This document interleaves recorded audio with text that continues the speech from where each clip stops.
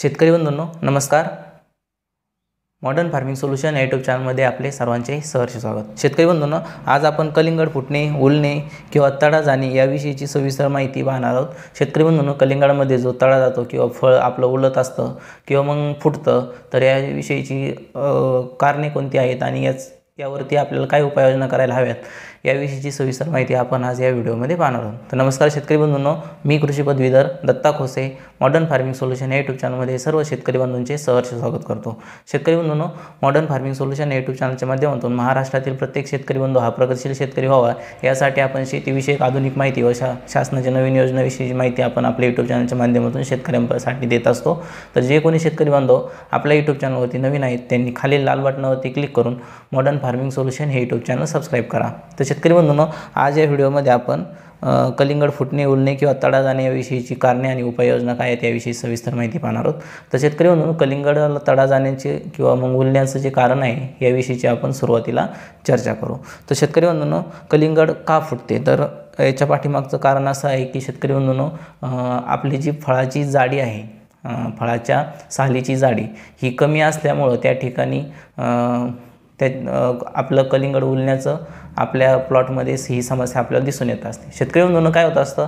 ज्यावेळेस वाढीचा टप्पा असतो फळ वाढीचा टप्प्यामध्ये त्या ठिकाणी आपण जास्त पाणी द्यावं लागत असतं आणि उन्हाळ्यामध्ये लागवड करत असल्यामुळं त्या ठिकाणी कडाक्याचं ऊन देखील होता पडत असतं.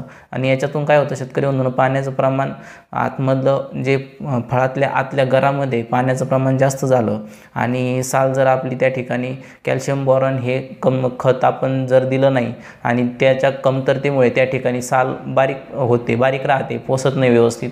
आणि मग या कलिंगाडातलं कलिंगडातलं आतलं जे पाणी आहे याचं बाष्पीभवन त्या ठिकाणी निर्माण होतं. आणि सालीवरती त्याचा प्रेशर तयार होतो.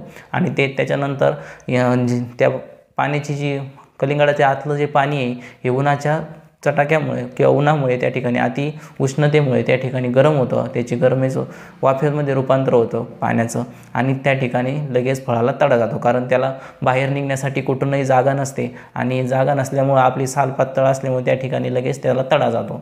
तर शेतकरी म्हणून याच्या पाठीमागचं हे मेकॅनिझम होतं की का नेमकं याच्यामुळं आपल्या कलिंगडाला त्या ठिकाणी फुटतं किंवा तडा जात असतो किंवा उलतं. तर याच्या पाठीमागची ही कारणं आहेत. आपण ज्यावेळेस समजा आपलं फळ जर कमकुवत असेल साल जर बारीक असेल आणि समजा ऊन जर जास्त पडलं आणि त्याच्यातलं पाण्याचं रूपांतर हे ह्याच्यामध्ये वाफेमध्ये झाल्यानंतर त्याच्यावर प्रेशर तयार होतं आतमध्ये आणि त्याच्यानंतर ते फुटतं. तर शेतकरी म्हणून ही झाली कारणे. तर याच्यासाठी कॅल्शियम आणि बोरॉनची कमतरतेमुळे देखील म्हणजे हीच कॅल्शियमची बॉ बोरॉनची कमतरता असल्यामुळे साल बारीक पोचली जाते आणि घर आतमध्ये मोठा असतो. त्याच्यामुळे हे त्या ठिकाणी फळाला तडा जात असतो. तर शेतकरी यासाठी उपाययोजना काय करायच्यात आपल्याला?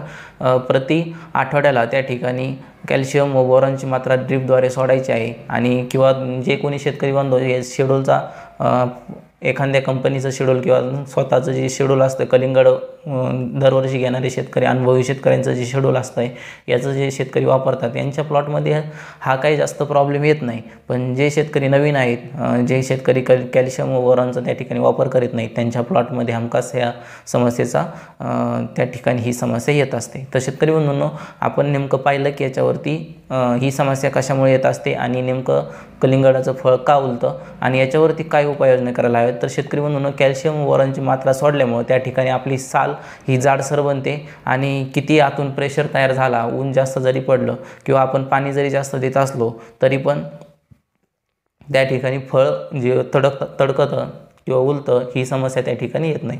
किंवा कलिंगड फुट फुटण्याची जी समस्या आहे त्या ठिकाणी येत नाही. आपली साल त्या ठिकाणी जाड करण्यासाठी आपल्याला कॅल्शियम व बोरॉनची मात्रा त्या ठिकाणी देणं गरजेचं आहे. तर शेतकरी बंधूंनो या व्हिडिओमध्ये आपण ही सविस्तर माहिती पाहिली. पुढील व्हिडिओमध्ये काही कलिंगडाचे तुम्हाला समस्या असतील तुमचे काही प्रश्न असतील कलिंगडाबद्दलचे तर तुम्ही त्या ठिकाणी कमेंट बॉक्समध्ये कमेंट करा. शेतकरी म्हणून आपण आत्तापर्यंत कलिंगडावरती दिलेल्या माहितीला खूप साऱ्या शेतकरी बंधूंनी प्रतिसाद दिलेला आहे. मी सर्व त्या शेतकरी बंधूंचा आभार मानतो. जेणेकरून त्यांनी आपल्या या चॅनलला खूप सारा मोठा प्रतिसाद दिलेला आहे त्याबद्दल मी सर्वांचा आभारी आहे. तर शेतकरी बंधूंनो आज या व्हिडिओमध्ये आपण जी माहिती पाहिली ही जास्तीत जास्त शेतकऱ्यांपर्यंत शेअर करा. व्हिडिओला लाईक करा आणि चॅनल सबस्क्राईब करायला मात्र विसरू नका. धन्यवाद.